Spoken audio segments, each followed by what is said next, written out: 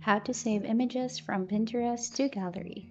So hello there guys, first thing that you need to do is to simply open your Pinterest application here in your mobile device.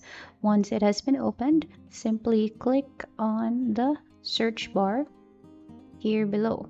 So when you click on the search bar, you just need to search for the idea that you want to um, look for. So say for example, black and white wallpaper so click on it and then basically you will be routed to this section where you can see different kinds of photos you can save. So for instance, we want to save this design right here. Click on the ellipses button here in the upper right hand corner of the picture. So there you will be routed to different options. Just click on the download image and by then you have successfully downloaded the image. Um, if you want to save and share it to other applications like Facebook, Instagram, WhatsApp, you just need to click on the options there below. And that's about it for today's video. Thank you so much for watching. Hope you find this video helpful.